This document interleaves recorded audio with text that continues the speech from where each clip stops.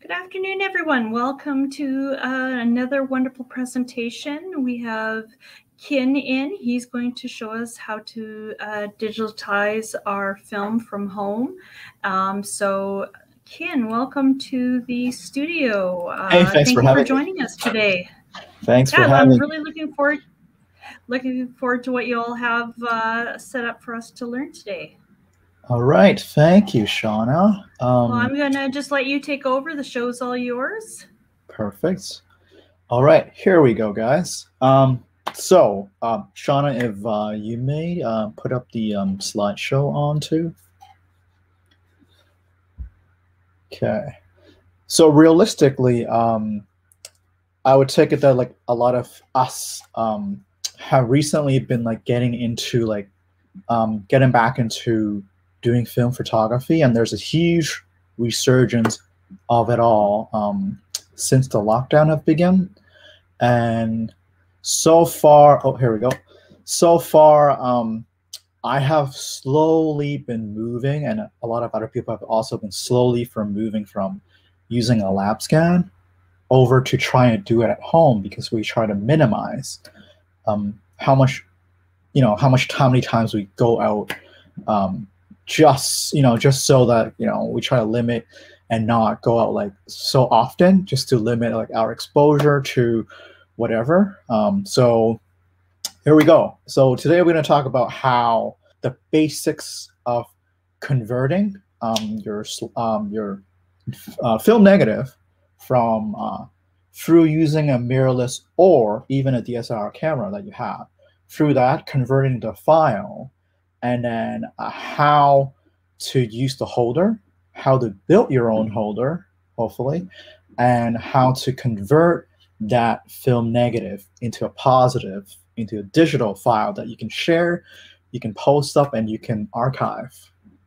Okay, so traditionally, um, you bring it to a labs for scanning, and they usually use the Pakon. Um, this one is, uh, I think, the Pakon F135 the Coolscan 9000, and some labs would have the nice uh, current newer high generation of uh, the Hasselblad X1, the X15 for really high-end scan. The nice thing about having those is that there's a very specific color consistency the lab can offer because um, traditionally they have about 20 years of experience of Kodak calibrating different color profile for the scanner. So that's the advantage of going to a lab for a lab scan. But um, as I was saying, sometimes uh, when we're in lockdown, we might not be able to gain access to the uh, lab scan all the time, and also we may not. Um, we may have our own set of color that we prefer. So that's when the home scanning would come in handy. Um, Shauna, if uh, I can jump in next. So, oops, uh, the one right before this one. Yes. So traditionally, for home scanning, you can still buy um, flatbed type of scanner or dedicated film scanner. For example, the more popular one is the Epson V6000 and the updated version, the V550. Um, they're kind of in the 200 something dollar range. Uh, and you can go up to a V750, V800 Epson, V850, and those guys you're heading up to approximately um, 800 to $1000 so they're not cheap for mainly using just for film scanning. There's also the Plustek um, i believe those are the 8000 series uh, and they are still approximately around $600 um, and those are usually dedicated for 35 millimeter for Plustek, and then the uh, one can go for um, medium format. Uh, and perhaps if you stitch it, you can also scan large format. However, um, they do take quite a, take up quite some time, and the automated feature may not be the best for what you want to do. So in the past, I have tried to scan a whole row of 35 millimeter on my Epson, and it takes almost half a day just to finish it off. And that become kind of too cumbersome um, for my use. Um, So yeah, um, you can still with those scanner you can still convert to a DNG, which is like a film neg sorry, a digital negative file. Um, so it's still usable if you want more control over what you want to do. Now moving on to um, using your digital camera, your DSLR, or your mirrorless to scan your item. So the nice thing is that you have you have easy access. Is at home. You can do it at any point. Uh, with a proper light source, you can even do it at daytime. I prefer to scan mine at nighttime, just so I have less stray light that can affect my uh, scanning.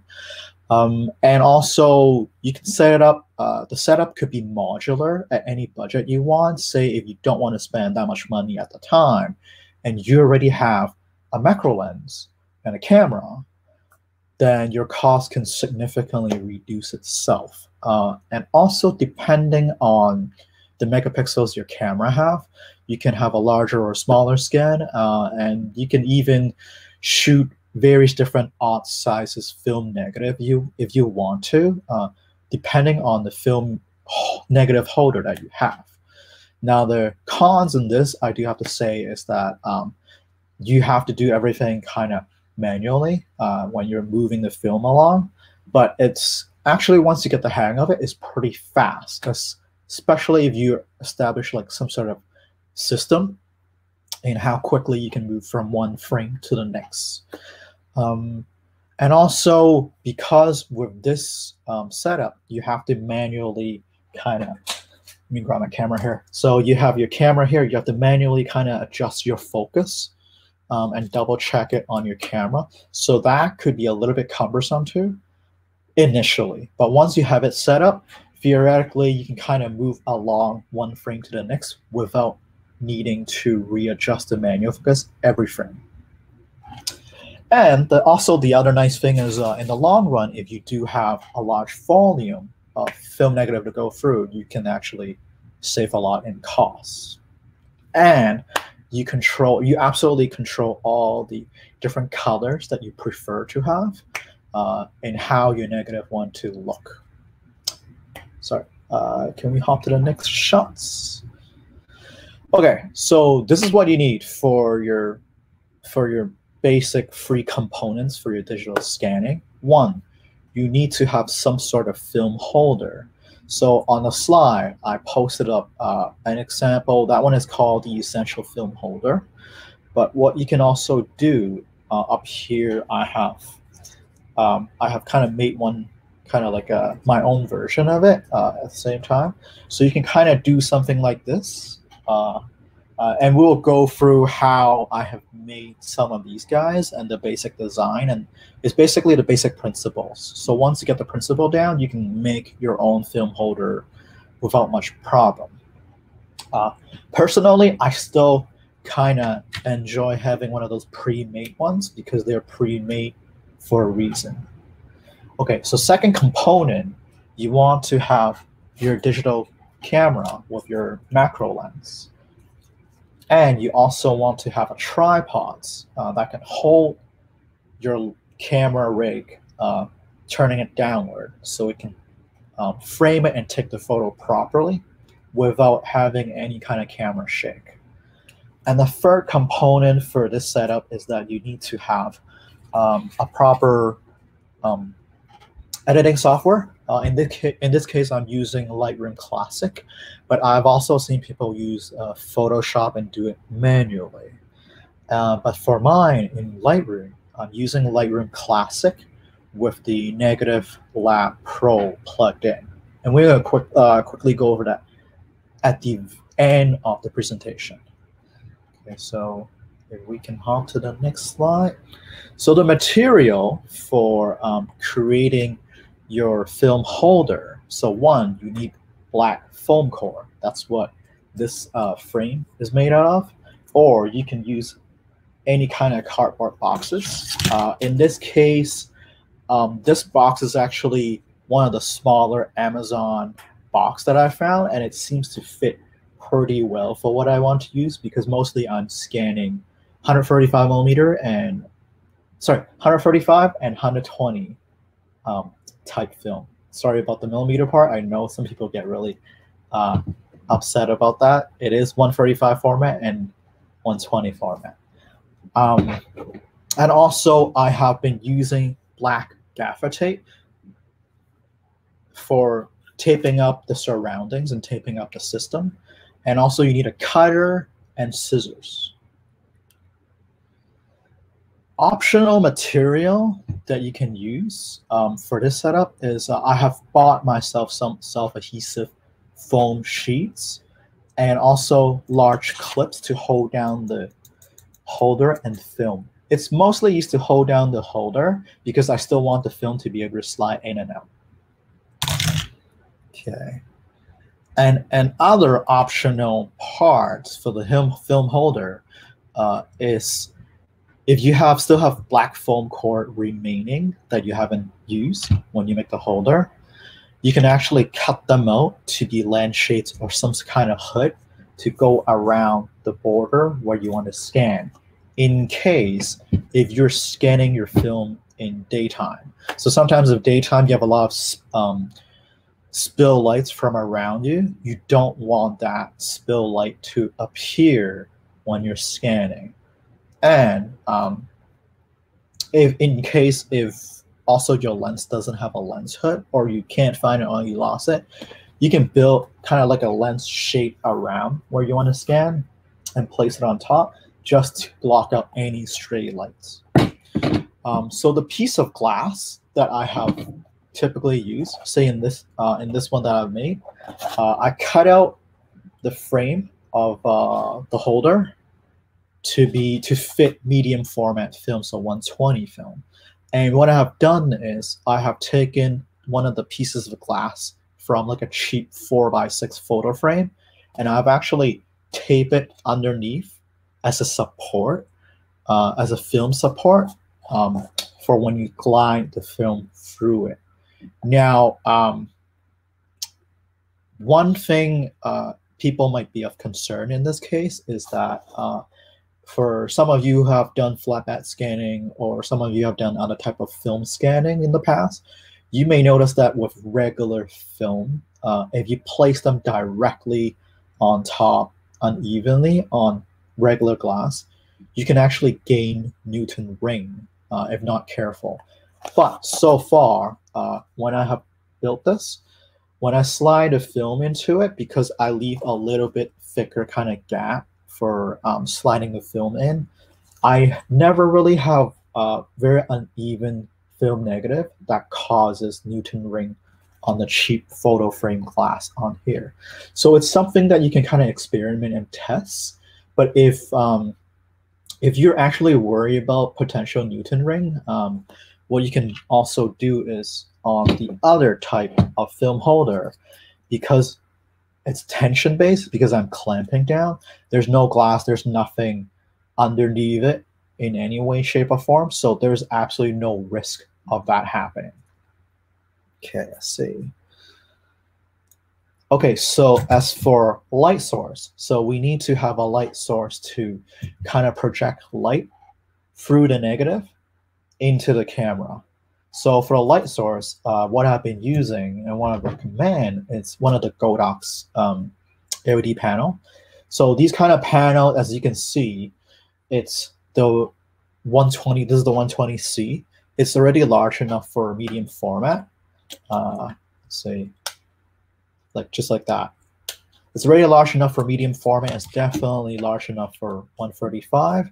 But if you have odd sizes um, negative. Uh, say, for example, your medium format, if it goes beyond 6 by 9, uh, say you're using some sort of um, homemade pinhole camera, you can always go for one size larger, and that's the um, that's the LED P260. Um, that's roughly about this much. So it's a little bit bigger. And the nice thing about these lights is that the CRI is approximately 95, a little bit above 95, and TLCI is 94. What that means is uh, it create a pretty good reproduction of daylight color without too much variation between the green tone and the magenta tone in terms of the TLCI. Uh, and, and a couple of other colors too. But mostly that's what you got to watch out for. However, I do have to say, um, for when you're creating your own homemade film holder and you're also using uh, your own type of diffuser for the lights, that might still shift the light a little bit. Um, but once you're editing, you're running through the, uh, you're selecting the correct white balance when you're processing the film, that problem should go away. Now, for the other thing about this kind of light is that, oh, sorry, can I go back there? Um, the other nice thing about this kind of light is that it uses a battery system. So meaning your setup is quite portable. Um, they use the Sony NP-F batteries, and you can. I know McBain actually sells the um, the 770 and also the uh, 980 type. Um, so this is like the 980 type is a larger one, and these would definitely last you all day long. Um, versus the the other option that they also have, the 770, that one um, it's like I think a quarter smaller than this guy, or maybe one third smaller than this guy, but it should still last you for many many hours for when you are doing your film scanning. So meaning if you're doing you're spending a whole day archiving a whole binder full of film negative, it should technically keep you going for hours and hours. And even if you forgot to charge it, next time when you use it, you should be able to still use it for a good chunk of time, I would say. And uh, these guys are typically, you're looking ranging from, uh, I think, 180 for um, the two 770 with the charger, and approximately the same thing for the um, the 99, uh, 980 battery. And as for the panels itself, the small ones, I believe they go for around $70. And the larger one, I believe they go for around 130 give or take. And also, obviously, light sources like these, you can always use for something else. You can use it to light up uh, when you're when you're shooting outside. You need so you need a constant light to kind of light up your subject. Or if you're doing video, you can still use these light panels for other purposes. Um, and sorry, Shauna, if you can move to the next one. Now, uh, when I was talking about diffusion panel uh, for using these kind of lights, what you may notice is it's the light itself is pretty, um, it's like a, it kind of works like a spotlight too. It's pretty harsh. And sometimes you might want to diffuse it just a little bit to have a more even surface what I what most people have done, if you have access to it, is if you can find white acrylic plexiglass sheets, I find them to work the best. Uh, and usually they shouldn't cost you more than $15 for a piece.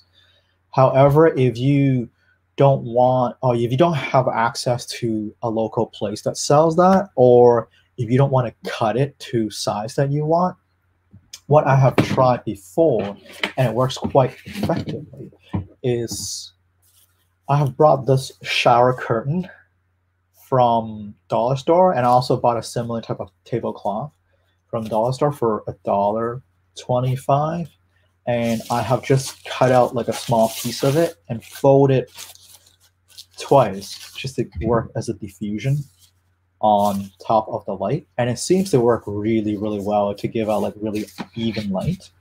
Um, so that's what I've done. So meaning I would have my light here on the table. I would have my diffusion sheets on top and I'll try to I might sometimes I might even mount it down with tape and I would have my film holder on top going over it and I have my film sliding in and through. So I can pull I can pull my my film from one side to the other while taking photos of it. Okay. Second, yep. So another light source I actually recommend that came out recently. So this light is the um, ES45. It's actually the intention of this, this is actually a much larger one. Uh, in case if you have larger kind of film negative, like a large format, uh, four by five or bigger. Um, the nice thing about this panel is that instead of having your traditional LED light panel where your light is directly behind, it's creating a hotter spot um, this guy actually have the light surrounding the edge of this and actually spill out a very even kind of lighting. The intention for this is actually for um, streamers, like um, people who go on Twitch, like gamers who go on Twitch and whatnot, and they use it as a light panel for their face. So kind of similar to what you see here, where I have like a like like a larger size light source to light up my face to have a softer light. This was intended for that, but because it's so soft and so even, you can actually use this without any diffusion to scan your film. And the other thing I like about this is also A is bi-color, B, they have a little remote control out here where you can change up, see if I can turn this, you can change up your power and you can change up the white balance and uh, and you can even change up, um, well, you can also check your battery power on here. So when you're scanning, if you don't want to be around your scanning table because you want to reduce any kind of artificial shake you might introduce to it, you can use the remote to kind of change up your setting. And it's magnetic. Kind of neat. So I think these guys are around 180. Uh, and it also comes with the little stand uh, that you can clamp it onto a table in case if you ever want to use it for other purposes, such as um, if you go on a Zoom meeting or you go you like you do live stream, you want a softer light source for your face, you can use that. Okay, so if we can move to the next one. Okay. Uh, okay, so this would be see these would be the final product I was showing you. So on the left here, on the slide, this is the larger um, film holder box that I have made. Uh, as I was saying, this is like the smaller Amazon box with the side cut out. Uh, this would fit. I have been scanning mostly six by seven, six by nine on this. Um, all you need to do for size is that um, you just have to measure roughly the size of your negative and you cut it to, to match the size. Now, even if your size is slightly larger, that's fine. Uh, what I've done in the past is I actually have left it to be a little bit bigger than what the film size should be for the width, just so that um, I, if I ever want to have the information of the side of the film saying what film it is, you can have that. So the border uh, of the of the of negative, if you want to show that information, you can always cut it larger so you have that when you're scanning your film. Um, and also the other thing is if you ever don't want that because uh, you find yourself having stray light hitting your negative when you're scanning, you can always use gaffer tape either tape this down smaller or what I've also done is I've used gaffer tape and I just tape one end of the tape to the other, kind of like double side, and I create a new kind of mask to overlay on top of the box so I can like frame it properly too. So you can do that. Um, and I've also done that for, I've just make like a separate mask for 35 millimeter film uh, just because it's I'm gonna I can use the same holder. I just overlay a mask on top. And the other part of this um, holder is that if you look at the picture on the right, that there's actually a slit that I cut out. Um, I don't know if you can see that properly right there. A slit I cut out just so I can feed the film through it. So when I was creating this, uh, I kind of measure it a little bit too tight. But if you find it the the slit to be a little bit too thin, you can always cut it bigger later on, which is what I did here. And I'll show you the back of my holder. So see, you see that little reflection where the glass is? See right there.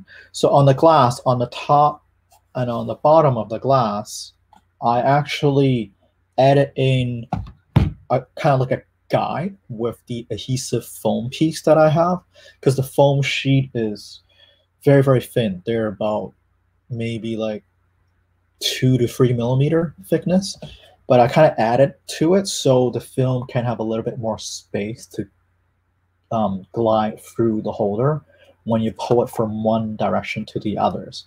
Because if it is too tight, you might actually a either scratch your negative or b you might have a hard time moving the film negative from one end to the next. And then the other film holder I have, Shauna, if I can, yeah, thanks. The other film holder I've created is that uh, is this guy. So this guy, I have basically just been using the larger size clips to hold it down. But also when you break it down, it basically, let me try to get that open. It basically, as you can see, it consists of two pieces on here. Let me get the film off. So you have one holder on here and the other one that looks identical but what I've also done is I have cut out the adhesive uh, foam as like a guide again from one side and the next. So the film can have like a slight, it ha would have a slight elevation for the film to glide right through. I think you might be able to see it better inside the, uh, on the photo in the middle bottom where it raised a little bit. Now, an alternative that you can also use in case if you think the foam is a little too thick for your liking is you can uh, you can use regular cardboard, thin cardboard that you can use. Um, and you just cut the same guide and glue it to one end of the holder here. So your film can easily slide through. Because I think most cardboard should still be a little bit thicker than your regular film negative. So meaning when it's on here, it would quickly glide through here when you move it along the place. All right. Here we go. This is uh, kind of the final product. Uh, what I've also done is I have mix and matched the two separate holder uh, where I would have this guy being placed on top of this other one but they can technically work separately in their own separate way. Uh, I just kind of like having this because uh, I already know how much thickness I have on here uh, when the light goes through it. So I can have a better adjustment on it. Okay. So, um, if I can uh, pop to the next slide.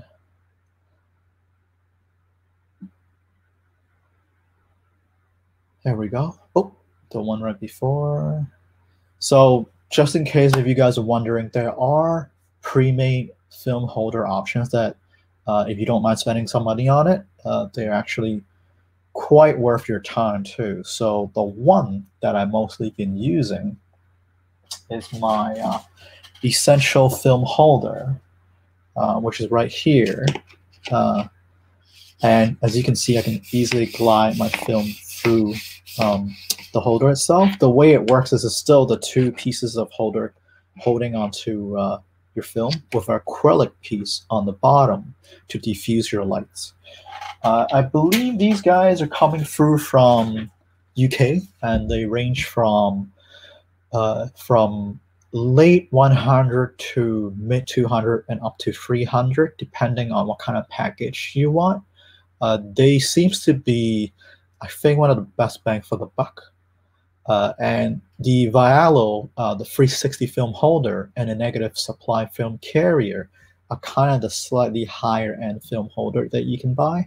Um, the way they work is when you feed the film into them, they have a little notch that you actually rotate it, and they would automatically feed your film through it, uh, and also to make sure it stays perfectly flat. Uh, I think the Valoi one is about five to six hundred, depending what kind of package you're buying, and the negative supply one goes up to eight to a thousand dollars, which is quite a bit um, of money. Which is kind of why I kind of stuck to my homemade one and also the essential film holder, because um, when it comes down to it, as long as you can keep your negative flat, uh, and you have a proper light source, you can scan it pretty easily without much issue. Um, and then the other option that you can think of if you already have these at home, um, is that if you have an old enlarger, film enlarger at home, they do have a negative carrier and they literally would work exactly the same way in principle because all you're doing on an enlarger is that you're shooting light through it to project it onto the film paper. Versus in this case, you're doing the reverse. You're shooting light through it into a camera, and your camera is basically just capturing a digital image of that picture. So these guys, you can probably find them. I've seen them online from under ten dollars to up to like 30 40 dollars uh, on ebay and whatnot. You can find them. And also you can pretty easily find 3d printed version of them um, to work. And they can range from five dollars to ten dollars each. So it shouldn't be hard. Um, and another option out there is that for nikon users nikon also have actually have an es1 and an es2 slide digitalizer. Um, and these guys, I don't remember roughly how much they're. I think they're mid hundred, somewhere in there. Uh, and the way it works is you can point it to any light source, be outside into the sun, or you use a flash, or use an LED shooting directly into it. But you basically mount the slide digitalizer in front of your lens, and you shoot through it. And on the Nikon camera, they actually, I think it's the 850 and also the newer DSLR. Um, they also have a negative conversion filter, or, or sorry, shouldn't filter, a function uh, on the camera where you can do the conversion from negative to positive inside the camera itself. So that's something to uh, for Nikon users to consider too. Okay other tools. So Shauna, if I can hop over to uh, the next slide.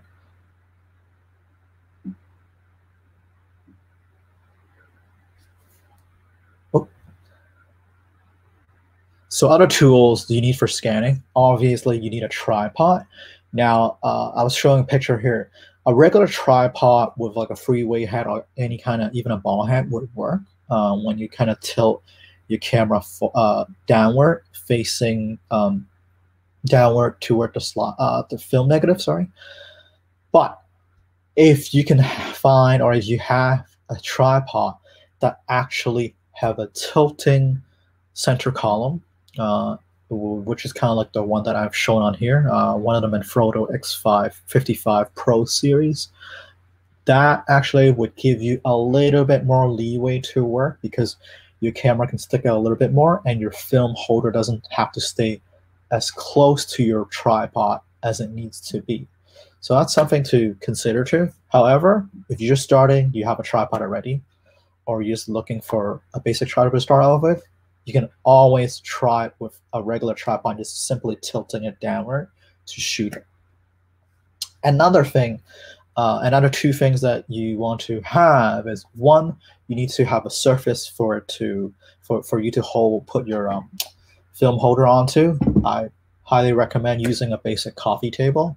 They're not expensive. You probably have one lying at home already, um, and it ensures that it's flat. So I just usually I just put uh, my film holder on top of the coffee table, turn on the lights, place the tripod over top, and shoot it. Uh, also, definitely, definitely a blower or air blower. Um, and those are about twenty dollars or less. Uh, and also those lint-free kind of white kind of gloves or cotton gloves that you can have for handling your negative. Because the last thing you want is to have your fingerprint all over the negative that you're trying to shoot. And also, it helps to keep some of dust and other stuff away from your negative. Also, I forgot to place it in here. Having a lens pen with the brush or any kind of soft brush to brush away the dust when you're scanning helps tremendously when you're scanning your film. I actually tend to do this uh, every other frame if I'm in a high dusty environment where I'm scanning, uh, or if I haven't vacuumed the area for a long time uh, I typically have a lens pen next to me just to wipe off the dust on here. Uh, every every shot or every other shots that I'm scanning. Uh, also, because um, when you're scanning digitally through this, you don't have uh, a dust reduction software like a regular scanner would have. And you definitely don't want to deal with dust if you don't have to once you're scanning your film, uh, because it actually does add up quite a bit of time in the long run. And Shauna, next slide, yeah. And other accessories that I recommend having when you're doing your scanning is to have some sort of bubble level. Uh, because when you're scanning, you want to make sure your camera is actually at a 90 degree angle and is perfectly straight instead of tilting to one side or the other. Uh, which is something you should look out for if you're scanning for a long period of time. Because when you first mount your camera onto the tripod pointing downward, it might be perfectly straight. But because your camera, say your hand grip is on one side, your weight might be tilting toward one side. Once you have been scanning for a long period of time, your camera might start to tilt one way. So what I usually do have is I would have a bubble level, some sort of bubble level on top or I turn on the um, the electronic level in the camera too, just to make sure my camera is perfectly level. Another thing is also to use the same bubble level on the coffee table or whatever surface you're placing your holder on, just to make sure your camera and your film is perfectly level too, because you want to make sure your skin is perfectly flat. What's other people have also a little trick that they've done is they place a mirror where the on top of where the holder is going to be at. Um, so the holder is going to place the mirror on top, so your camera can actually see. Um, if you can look at the detail of your lens, say like it's a 90 millimeter Sony, etc., etc., you can see how level it is. This is like a little mirror trick, so you can make sure your camera is perfectly level in comparison to your film. So this is what the um, Shauna, yeah, this is what the setup would look like. So you have your camera. If you look at a picture on the left, your camera pointing downward perfectly straight, and you have your film holder underneath. Uh, and you're you're going to try to manually focus the camera to capture the file. Okay, so now we're going to go into the core, very basics of the camera setting when you're trying to digitize your film. So Shauna, if I can hop to the next slide. So first thing on your lens, A, you want to make sure it's a macro lens. Uh, I have on display here one of the 7artisans, I think this is 60 millimeter version 2. Uh, they are the one of the least expensive macro lens that perform really well without causing too much. I believe they are uh, two three hundred dollars give or take. Uh, and but regardless, um, with macro lenses, um, you want to, or even other type of lenses, you want to tune your aperture to be about f8 to f11 for two reasons. One, uh, you want to make sure you have enough depth of field to capture the whole plane of the uh, sorry the whole film because let's say if your film isn't perfectly, perfectly flat in comparison to the camera. So let's say it's warped just a little bit. If you have a smaller aperture, it's still enough depth of field to capture the whole frame. So you can still fix your uh, perspective of your scan inside Lightroom or inside Photoshop without worrying that one end of the film is in focus versus the other end isn't. So that's one little thing. The other thing is also typically most lenses, as you know, perform the best. I'm talking about full frame lenses here, uh, or, or APS-C lenses here. Typically, they perform the best from aperture f8 to f11. So that's also when you get the most optimum sharpness throughout the lens. And because you're scanning a film negative itself, you want the whole plane to be in perfect focus. So that's why you want to make, keep those two um, little things about the aperture setting in mind. Um, and in case if I haven't brought this up, uh, when you're scanning your film, you are shooting in full manual setting, meaning you're manual focusing and you're setting up your exposure manually too. Okay, sorry, um, Shauna, yeah, thanks. Uh, focus setting, so you're using manual focus. Uh, my personal favorite is I custom button the, the camera because most camera you have have several custom buttons. Like on the Sony here, you have one, two, three, uh, four, and then some of the other guys have five on here. I typically customize one of them to be a focus magnifier. Reason being, when you're scanning your film, when you're pulling the manual focus, you want to magnify your uh, your your camera to see if you can find the perfect focus on your film, just to make sure you have like the perfect sharpness when you're scanning your film. And then for others, uh, especially for mirrorless, um, most of them would also have what they call um, focus peaking. So what focus peaking does is when you turn it when it's in focus, it will light up whatever is in focus. You want to turn that on too, just to make sure it helps you to pull the better, perfect focus that you can get from it. Let's see. Uh, oh, um, ritual uh, clean so cleaning mold from it. Uh, typically molding uh, in the past, uh, sometimes like I use, I try not to use anything too destructive. Uh, if you have, um, if you have type, uh, let's see, if you have some type of like wiping alcohol, I tend to kind of dilute it just a little bit with um, non-mineral water and using a Q-tip just to kind of lightly clean it itself. But um, I'm not the expert in this because so far I haven't really encountered much of um, molding on my uh, on my film negative too. But usually, once you have done that, you place it in the sun. You you kind of well, should I shouldn't say direct sun, but like you kind of let a little bit of sunlight go through it, not direct. Uh, kind of dry it off and clean it. It helps. Okay hopefully that answers some of your question but i would say keep looking for other solutions too because i definitely haven't really like have much experience with that kind of um, that kind of problem i actually have a little bit more experience in cleaning lens element um, with molding but that's another topic okay so let's come back to this uh, focus setting for the manual focus um, oh sorry uh, Shauna, if I can move on to the next slide. Yes, please, thanks. So peaking level, I usually prefer using it at high or medium, just so I have a better view of what is in focus. And I typically also use the red color um, for uh, red or yellow, but usually I prefer to use the red color for when I'm scanning, especially color C41 film.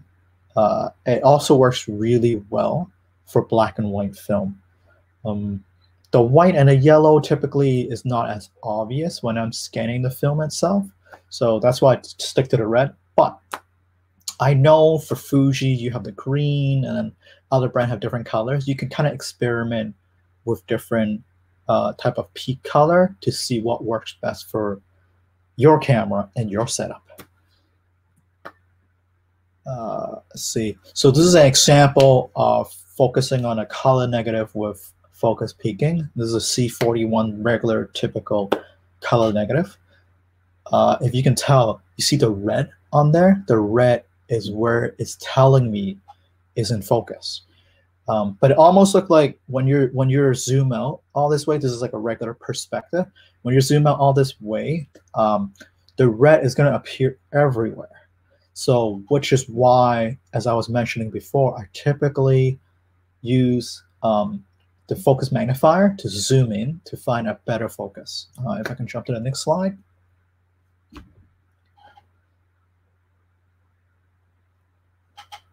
So once you, oops, sorry, go back one slide.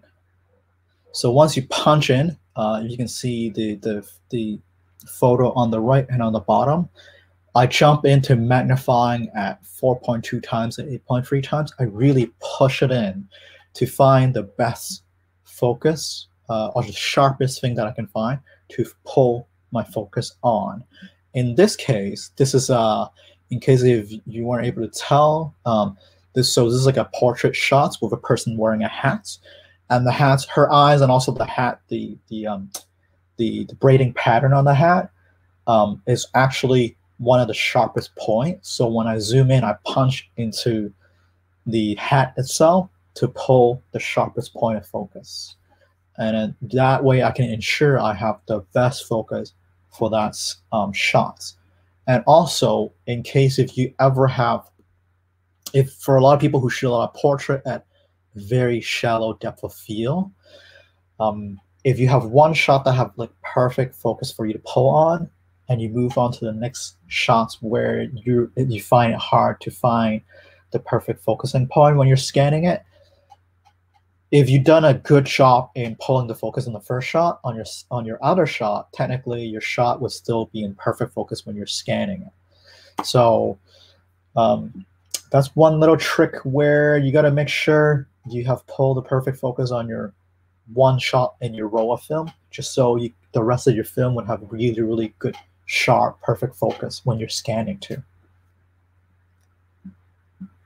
Okay, so here's another tool that can also help you when you're scanning. Um, because we just talked about aperture, now we're going to talk about shutter. Um, so shutter, um, the basic principle of it, it's also when you're scanning your film, your shutter speed might be a little bit slower than usual, which is why we have it on a tripod. Um, but at the same time, when you're doing it slowly, you can introduce any kind of any kind of shutter shake to it. Um, if you're close by or you're standing on carpet, which I don't, so I don't recommend scanning anything when you're on carpet because it will shift. Try to scan everything when your your table and your tripod is on um, wooden floor or even cement or anything solid. you want to use some sort of shutter release cable, remotes, uh, or even a timer remote that you have to trigger your shutter so you you can be further away or you're not physically touching the shutter button on your camera. So in this case, um, uh, for a lot of users, they have like DSLRs, they have uh, I think the Nikon and the Canon infrared remote trigger. They go for about twenty to thirty dollars here and there.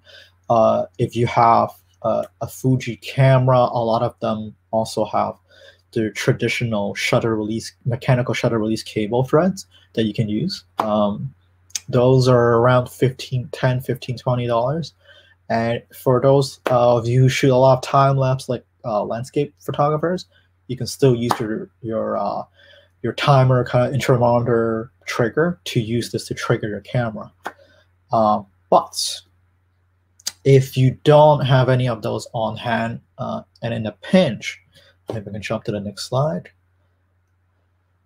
Um, what you can also do is a lot of the newer mirrorless cameras and a lot of newer DSLR cameras, they have their own Wi-Fi or Bluetooth app for you to control your or release your shutter through um, the app. So if you have an app, you can use that to trigger as a like a remote trigger too. And if you also don't have that, you can all what you can also do turn on your timer um, for your shutter release. So turn on, say for example, in this case, turn on the 10 seconds timer. So you have enough time to move out of the way or far enough so that there's no physical shake uh, when you're taking your shots. Uh, and for shutter setting, if your camera has a uh, electronic shutter, turn it on because any kind of shutter shake can introduce kind of shakiness into the film that you're scanning. So if there's an electronic shutter on it, use it. Uh, and if you don't, you just have to turn up the power on the LED panel uh, so you can take a shorter shutter uh, shots when you're taking the photo. So it re also reduce your shutter shake. Okay, next one. Uh, also, when you're using your ISO, make sure you lower to the lowest that you can go natively on your camera's photo setting. So in this case, usually uh, they're usually at around ISO 100 or 200. Um, this way, you don't introduce any kind of digital noise to your film negative uh, if you don't have to, because you already got film grain. You want to represent the film grain of your shots uh, when you digitalize it, but you don't want to introduce any or complicate it with any kind of digital noise when you're shooting on it. Okay. And for your exposure setting, because you're already on a tripod, don't be afraid to use a slightly slower kind of shutter speed uh, that you can go with. And turn on the histogram so you can see you're not over or underexposing it. Uh, what I do find is when I'm metering it, sometimes I do go up maybe like plus 0.3 or negative 0.3 when I'm taking the shots, like just a little bit over, just a little bit lower. It, that doesn't matter that much as long as your histogram is telling you that you're not overexposing or underexposing too much because you want a middle of the ground exposure so your digital file can give you the maximum amount of information when you're processing it. see. And this is one more thing I kind of throw it into the setting.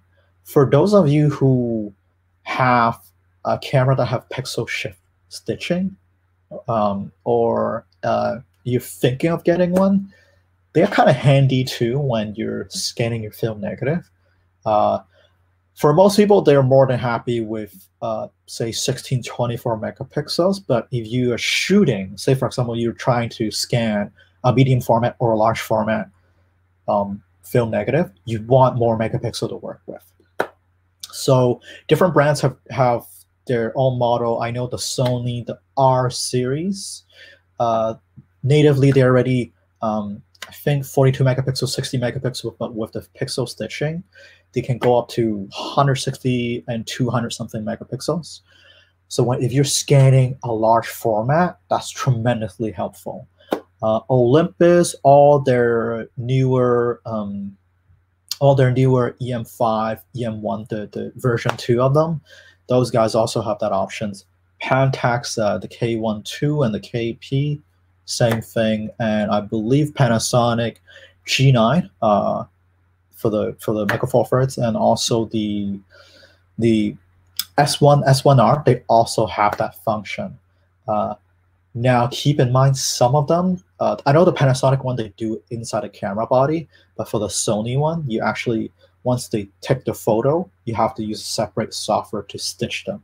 So if you're choosing your camera, like you're thinking of buying one for that purpose, keep that in mind. Read about it. But uh, if you already have a camera, you're happy with it, you can keep going with it. Or if you have one that have that function and you haven't tried and used it yet, consider testing that too.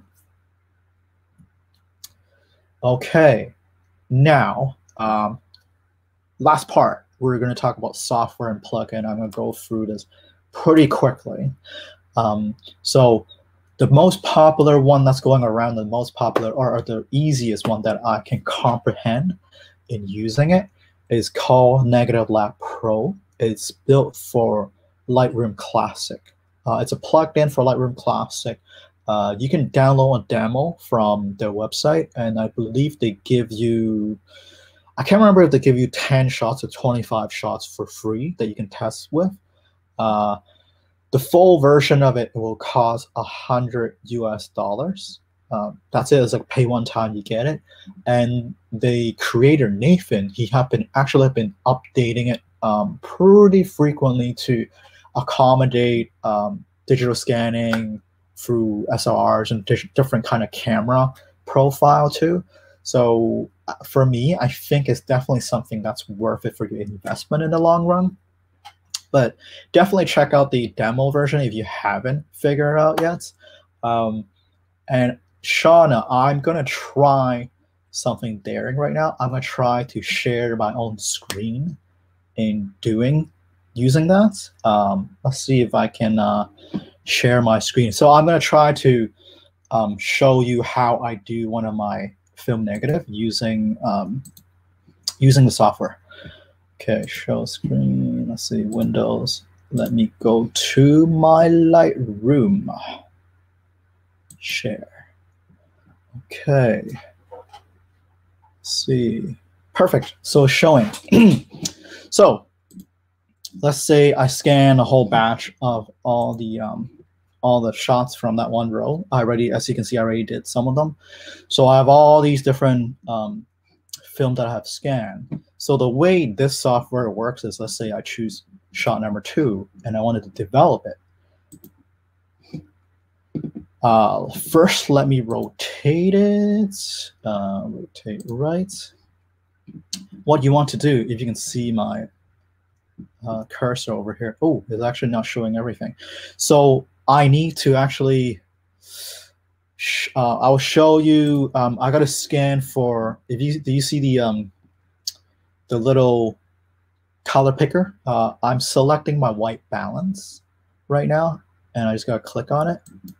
So that way the, the software, the plugin would know that I'm actually selecting um, the, the white, white balance for this. And I also would, what I want to do, I need to crop it down to just the picture that I want to use. Uh, in this case, it's just down here. There we go, somewhere in here. So here, I got the picture that I want to edit. Um, what you got to do is, oh, it's actually not showing. Sorry, I should have tested this. It's actually not showing you the menu that I'm using. Um, but let's see. So I can actually open up Negative Lab Pro, the plugin. And I'll show you a screenshot of it afterwards, um, just to show you. But all I need to do is convert negative. It's literally just one click of a button. And they kind of give me a preview of what it looks like. Well, like I didn't really have to do much of anything. It's kind of close to what I want to choose. And inside the editing um, plugged in um, interface, I can still change the white balance. Uh, I can warm it up a little, and I can warm up her skin a little by adding a little bit more magenta. And I can still change the brightness and contrast. So here, let's cancel that. Uh, stop sharing. So Shauna, if I can ask you to open up that, um, yes. So on here, uh, if you look carefully, um, you see that little panel off on the right with the interface. It's actually where I was doing all the magic in there when I was when I was trying to show show it to you guys using the uh, Lightroom plugin. You can change the brightness, you can change the contrast, um, and you can also change the the highlight, the white, the shadow, the blacks, and on the bottom, you can actually select what kind of color profile you want. You can choose from, they have different, I think four different type of scanner profile that you can choose from to your liking. Some of them have a stronger green tone, some of them have a have a closer to a Kodak kind of color. Uh, and also on the very top, I was using the traditional lab scan uh, kind of neutral color profile. You can also choose a preset where it's a higher contrast. It's uh, or if you have a shot that you're blown out, you can choose one that save the highlight, things like that. And that's the Negative Lab Pro. I believe this is version 2.2, uh, which is the current one that they have. They have just released a version 2.3 beta I believe, two weeks ago. Uh, and as far as I can tell, some people find um, even nicer color tone that they can choose from with the color picker that they can choose if they want to choose the white balance. Uh, so yeah, it's something worth looking to into. Again, the name is Negative Lab Pro. They're not affiliated with us in any way, shape, or form. I just find them to be one of the easiest one to use. Um, sorry, I kind of running a little bit tight on time. But I do want to ask, are there any questions or if there were any questions that I have missed on here?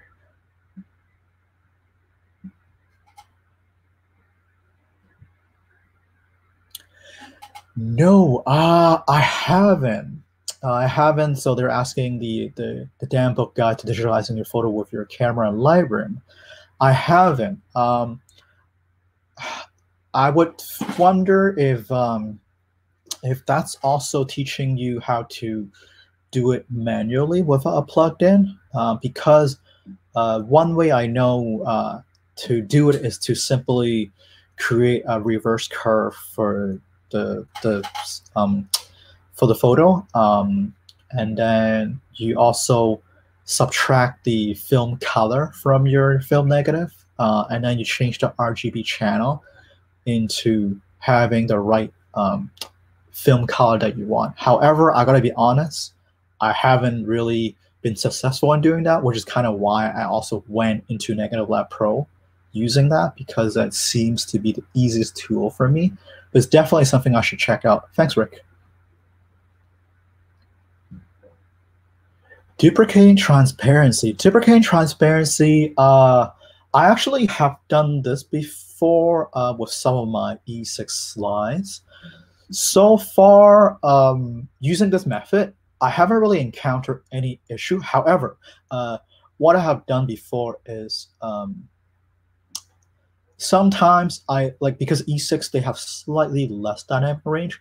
Um, sometimes what I've done is I cheat a little bit by I shoot two shots of the same E6 shots. One slightly uh, I bracketed kind of like higher exposure, lower exposure, and I kind of overlay them almost like an HDR, and I seems to be able to pull back a touch bit more detail. Um, but I've also done it the lazy way where I duplicate the file inside Lightroom, create a virtual duplicate, and I export them with two different settings when I'm using Negative Lab Pro. Um, but sorry, I don't know if uh, you're also wondering if there are any other complication uh, scanning slide negative that you ran into.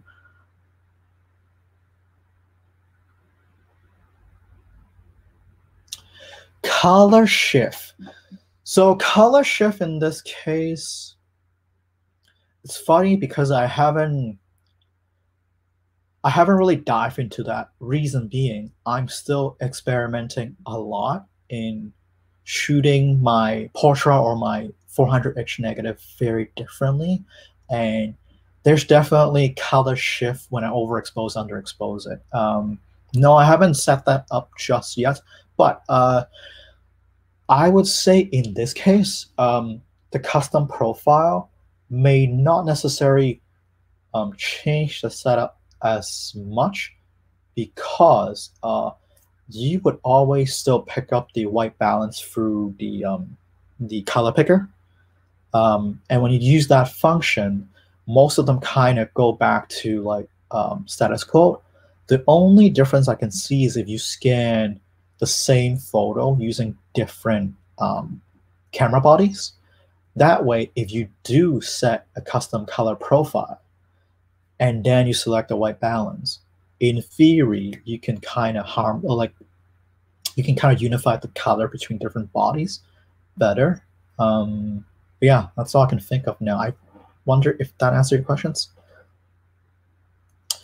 Okay, so flatbed film scanner. Um, flatbed film scanner is still very relevant. Mm, um, I would say the advantage, the core advantage is it comes in when you're scanning 35 millimeter film. Uh, I find myself that uh, when I'm using my V600, say for example the Epson V600, um, when I scan it 35 millimeter, I only get approximately 2000 dpi, like max 2000 dpi um, density if I can go up to 3000, but but it kind of a diminish of return when I zoom into the actual picture file.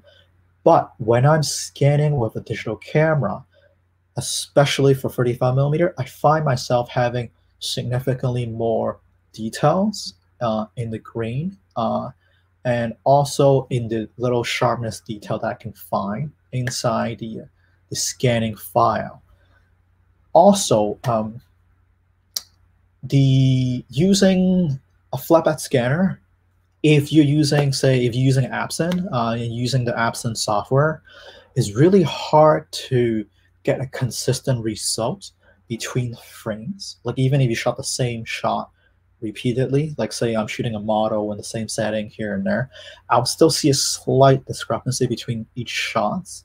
But when I'm using a digital camera scanning it, I can apply whatever setting to shot number one, and I can in Lightroom I can copy that setting and sync it to the next shot and get the exact same kind of color exposure, uh, as long as I shot the, the film photo with the exact same setting. Um, what you can still do with a flatbed scanners, you can scan it and output it as a digital negative, like a DNG file, and you can still use uh, negative um, negative lab pro to process it and copy and paste the setting so you get the exact same setting between shots. However, when I'm doing that, uh, say when I'm doing that for a 35 millimeter, for a row of 24, it takes me hours to get all the digital properly scanned um, to a digital negative, just so I can edit it in Lightroom the same way with all the control that I have from a digital camera. Versus digital camera, I can kind of shoot a shot. Let's see, I can shoot a shot move to the next shot, take a shot, move to the next shot, take a shot, move to the next shot. It feels like it's significantly faster because as you see, like I just shot it. Let's say I shot the shot and I just moved to the next shot. So each shot roughly only takes about 20 seconds or less. Um, but yeah, of course, the downside is there's no automated feature. So if you enjoy having your automated feature on your flatbed scanner, you can still keep using a flatbed scanner for that purpose because you can leave it running.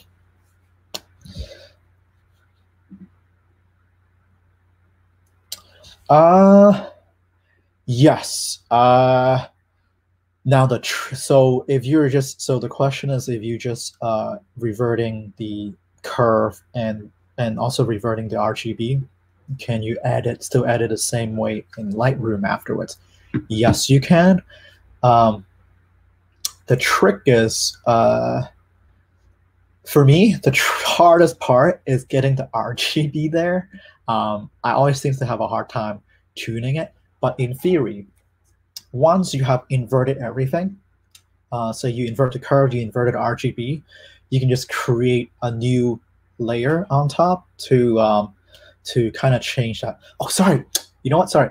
I'm answering this as if i'm editing in photoshop. In lightroom in Lightroom, what you do have to do is because Lightroom, you're not doing layers the same way I'm doing in Photoshop. In Lightroom, uh, all your settings, because it's invert, so your your white, your black, your shadow, and your uh, uh, um, sorry, your shadow and your bright. Um, sorry, I forgot. Escape me. Anyways, all those tabs they are in reverse. So let's say if you want to um, change your um, your white, um, how much exposure you have, let's say if it's slightly overexposing, you would probably not be shifting the white tab. You would probably be shifting the black tab because everything is inverse. So you just to wrap your brain around it when you change it. Uh, as far as I can tell, I haven't really used Lightroom to do it, but by principle, that is what you're diving into. Uh, but definitely, it's something it's worth looking into. Uh, for YouTube tutorials, if you're using Lightroom for that purpose, uh, there might be easier way in doing this. But as far as I understand by principle, that's what you're changing. And sometimes a little bit harder to wrap your head around it. And I think the hardest part to wrap your head around is the color because they're also invert. So you're actually dealing with opposite of whatever whatever color you're using or you're changing. But as long as you can kind of wrap your head around that, it's still doable.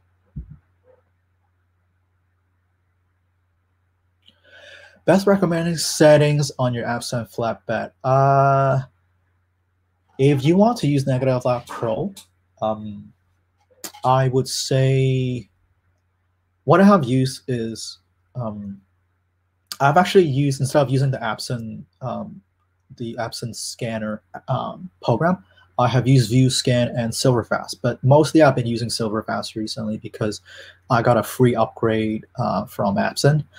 Um, I would say use that, uh, use the Silverfast, and try and turn on the negative negative um, profile so you can scan it as digital negative and you can kind of have a little bit more running room when you're converting the, uh, the digital negative into a positive.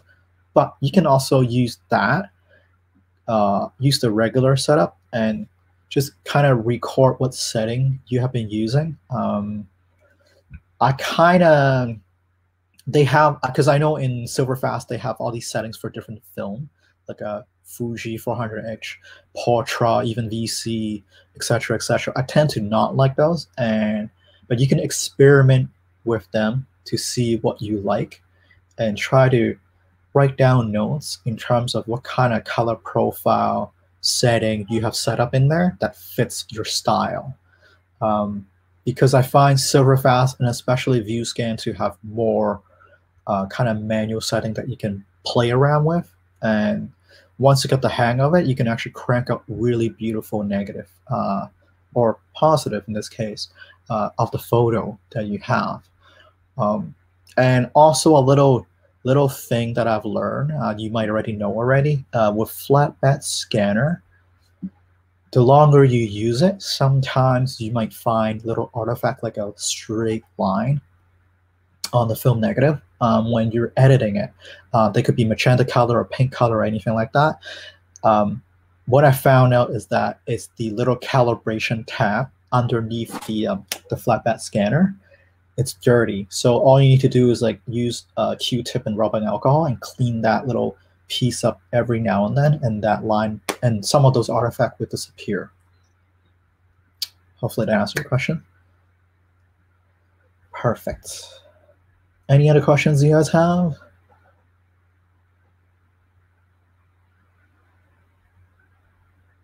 Oh, um, preference using JPEG, PNG, TIFF. Um, I I'm guessing you're talking about the final output of the file itself, and not the not the uh, not just the if I'm scanning a negative kind of profile. Um, realistically, uh, TIFF would give you the most amount of data at the end um, compared to JPEG, because JPEG is mostly for quick small file sharing, um, uh, and you want to make sure you get the exact color profile that you want for your client or for something that you want to share uh, for client because like some people actually use it for uh, weddings and events. Um, and you want to make sure whatever you see on your screen is whatever file your client receive or see it on their printing. So if you're exporting it to deliver, to give to your clients, I would say go for the JPEG. Um, for myself, I typically use a TIFF or I actually export um, another DNG file that I've edited from Lightroom just so I can retain the most amount of information if I ever want to go back and edit that, edit the DNG or make small changes to the DNG. So I won't be having any kind of almost like a destructive editing per se. Granted, your original file is already there, your original file that you scan, but my workflow is I scan a DNG or I scan a Sony negative for myself. I edit it and I export a DNG. And then once I if I'm perfectly satisfied with my DNG, I tune and tweak it just a little bit. I export that at the end into a JPEG for online posting or for for my clients for anything like that. Hope that helps. Optimum DPI setting on a flatbed. Uh, I find myself going. Let's see. So like uh that's a that's a tricky question to answer because uh, it depending on the app that you're using and what kind of setting they allow you to set. Uh, off the top of my head, I haven't used Silverfast for a little while, but off the top of my head on Silverfast, um, I typically go. Uh, think 2000 like 2000 for the uh, DPI, I think, if if I recall that correctly. I might be even off by a digit. Um, but it usually for 35 millimeter, it give me um, ranging from 50 to 70 megabytes of a file to work with afterwards for film negative. Uh, that seems to be the most optimal. Um, some people would say you can even go for 3000. I don't find that give me any better results than a 2000 kind of DPI on it. Uh, but it's something that you kind of play around with. Uh, what I would say you can do, because I don't know which scanner you have, try to scan the same film negative with two different DPI settings, and then zoom in. Like when you when you blow it up, uh, uh, when you blow it up, zoom in and see if you can tell a major difference in how you consume it. Um, and by zooming in, I for, kind of forgot a step. So you scan both of those files, develop it, um, and then you export one of them to be say 24 megapixel, and you export the smaller one, the smaller DPI one, also to 24 megapixel, and then you see if there's a difference between the fine details. If you still see there's a fine detail, then go for the upper um, or significant detail difference, go for the upper DPI one. But if you see that they're very similar because they're kind of muddy, then you know you have hit the point of diminishing of return and just go for the smaller DPI. So yeah, for me, I think I'm around 2000. Any other questions? No? Okay sorry, just to pop in like this. Um, I wasn't sure if we're done with our slideshow or if you want to still do that quick demonstration before we sign off. Oh no, so sorry, the demonstration I was talking about using the Lightroom to uh, convert that uh, file, but then I realized it's not showing any of my tool uh, off on the side for the slider. So I just kind of showcase the uh, the last slides with the little little screenshots right there. Uh, was there any other further questions for Ken today? Um, he did a wonderful job. It makes me want to uh, dig out some negatives and give it a try myself. Um, and Ricardo, I am going to look into that, uh, seeing what the best uh, way to clean mold off the negative is, just so I can give you a more hopefully definitive answer um, to help you out. Um, and Ken, I'd like to uh, thank you for um, coming on, and and everyone has uh, definitely enjoyed the presentation, and uh, I know I've learned lots, and I'm a do-it-yourselfer, so definitely got my creativity flowing. And uh, if anyone's got any further questions, feel free to add them to the chat, and I'll try to get those uh, answered as quickly as possible. And if I can't answer them, then I'll make sure I uh, get them to Ken so he can uh, get those answers for you. Um, and just one last chance. Do you guys have any other questions? All right. Um, since nothing looks like it's coming through at the current moment, Ken, I want to thank you for coming to join us. I've had an extreme pleasure in uh, um, getting this all together for you, and I really had a good time. Thanks. Me too. Me too.